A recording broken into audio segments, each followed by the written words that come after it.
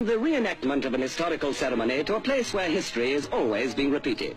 Here, at a famous North London firm of geographers, 60,000 globes of the world are made every year.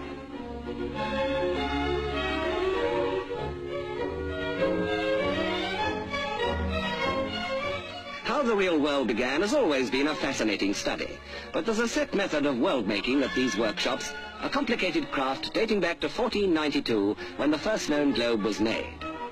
Round a solid ball of wood is built up a hollow shell of stiff paper, which is then coated with plaster.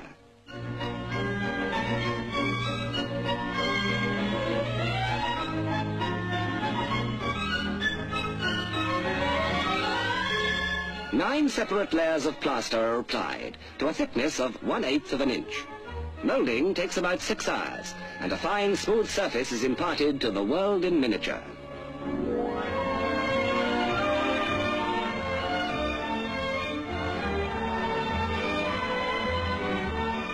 Once the globe is set and dried, it passes to another department where the covering map is pasted on. Like restoring the skin to a peeled orange, the coloured printed sections exactly cover the surface. But the covering process calls for a keen eye and steady hand. A fraction of an inch out will put the world miles out of joint.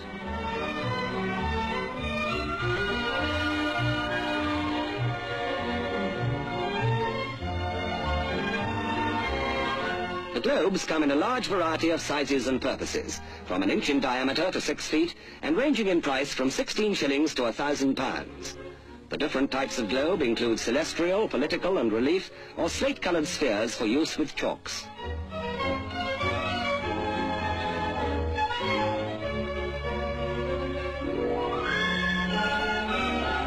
In keeping with their subject, the globe makers have a world market. 90% are made for export.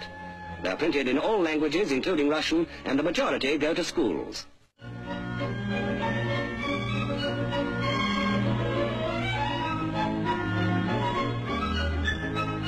From first to last, the complete job takes 15 hours.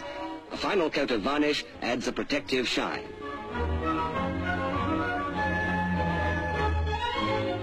Nearly a hundred of the staff have been there for more than 30 years. While the rest of mankind does its best to blow the world up, they like building a new one.